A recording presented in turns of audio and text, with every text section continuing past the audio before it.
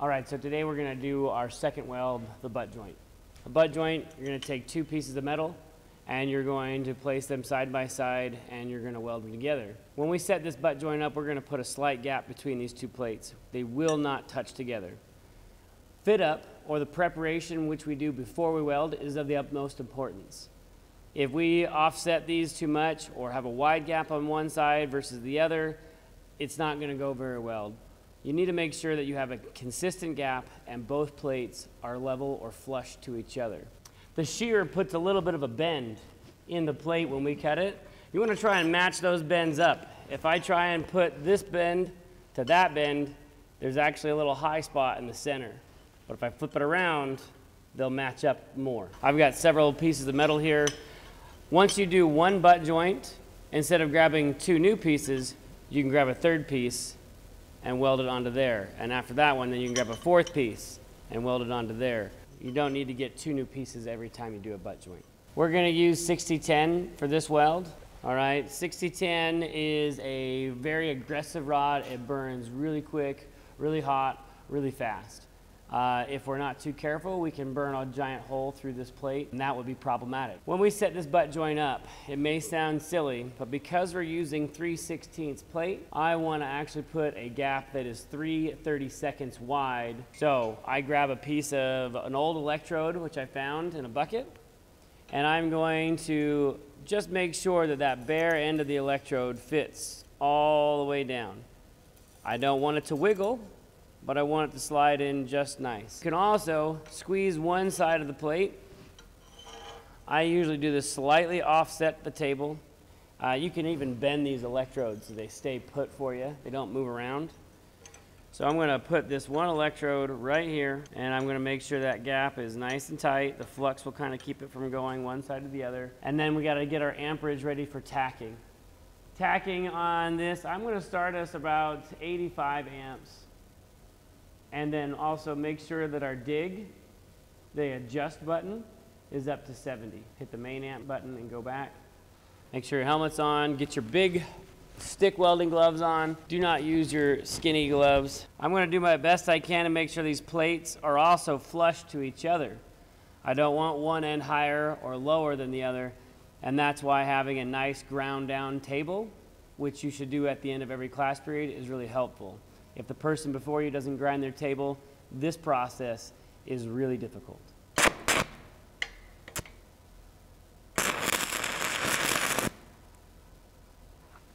And we just put a slight tack there. Now I can raise this plate up off the table. I can wiggle my electrode out of there. Again, it should just barely slide through. Okay? And then I'm going to take and I'm going to adjust the other side of the plate. I want to pull it apart just ever so slightly. Again, that tack is just holding together briefly. I'm going to check this end. I want to make sure this electrode will fit and slide in there. But that's the gap we want. I will leave this electrode just kind of hanging out right now. Uh, I also make sure the plates are still flush. If I needed to adjust I can pinch those one way or another, get those nice and level to each other. Again, make sure the plates are nice and level, electrode fitting in the gap. All right, now we got our plates tacked together and they're pretty level to each other. Um, I'm going to set this down on the table. Now, we are going to try and shove this electrode through that gap.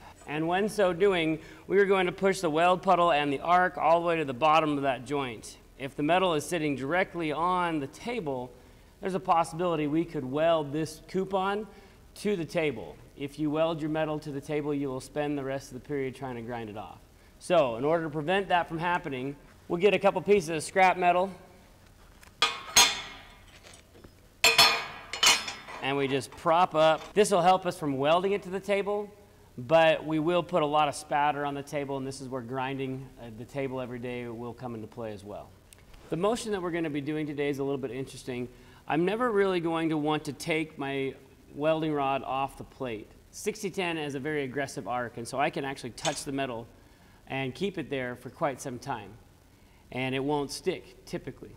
So what I'm going to do is I'm actually going to bury the electrode on the surface, and as I get a molten puddle, I'm going to push that molten puddle down and back of the joint. And I'm going to then whip a little bit forward and then push the next puddle down and then down and then down and then down. It's kind of like a sewing motion where I kind of whip out across the surface and then scoop back and push into the joint. And it's really quick, it's really fast. Um, this is a, a, kind of a hand-eye coordination that we're going to build. We're going to repeat this all the way down. We're going to go so quick that we may only use somewhere between a half or two-thirds of an electrode for a whole six-inch weld. All right, so it's different than the 7018 where we used a full electrode for a six-inch weld. We'll use half to maybe two-thirds of an electrode for a whole weld if it's done properly. All right, now the angle is pretty important too we want to maintain a straight in angle. We don't want to angle left or right. We want to have a little bit of a drag angle and we're going to go in line with the joint. This will not work if we're lazy pointing it down this way. All right, we need to push that puddle down. So you need to get that elbow up into the air and then we're doing this nice quick motion. All right.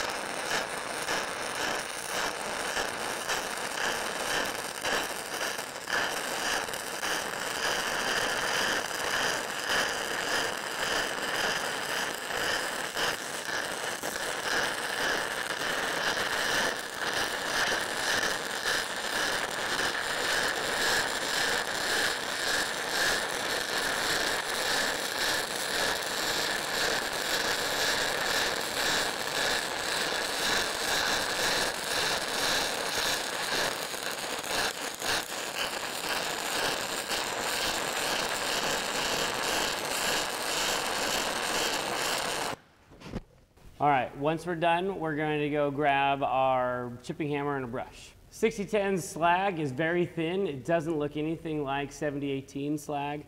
And so we're going to just kind of rake and, and brush.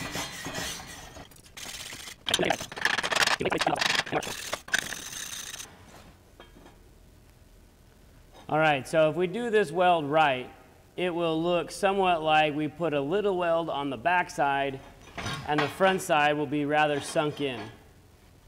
All right, so there's your butt joint for 6010. It's a challenge, but it will improve your welding skills quite a bit. The hand-eye coordination that you're going to develop right now is going to be key as we keep moving on in all of our welding processes. So keep, keep at it. This is a tough one, but I know you can do it. Okay, good luck.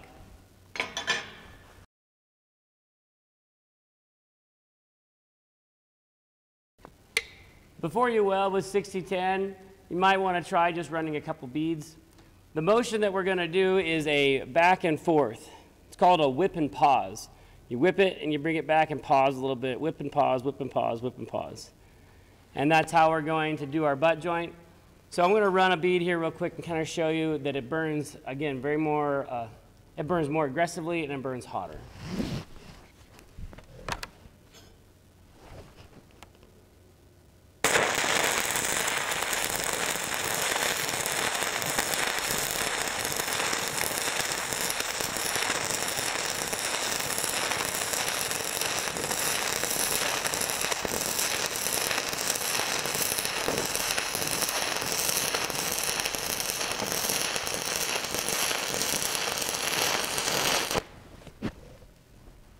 You can tell that we go fast on 6010 too because that's still not a full electrode. That's about a half, maybe a little bit more than a half.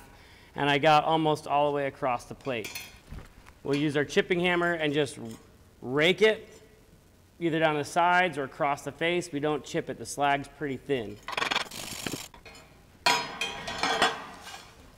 And because of my motions of back and forth, I have a nice little stack of welds, almost like a really chunky looking TIG weld.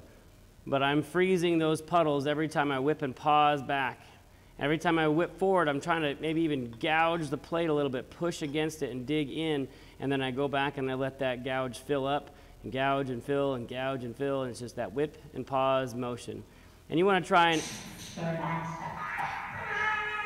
because of my whip and pause motion, I get those nice tight ripples. Uh, the further you whip out and the further you whip forward uh, matters, and then also how tight they are. We want a nice, tight, consistent spacing. So you want to try and pop out of the puddle about a quarter of an inch, and then come back about an eighth, and then a quarter, and then an eighth, and a quarter, and an eighth, and just keep it nice and tight and quick.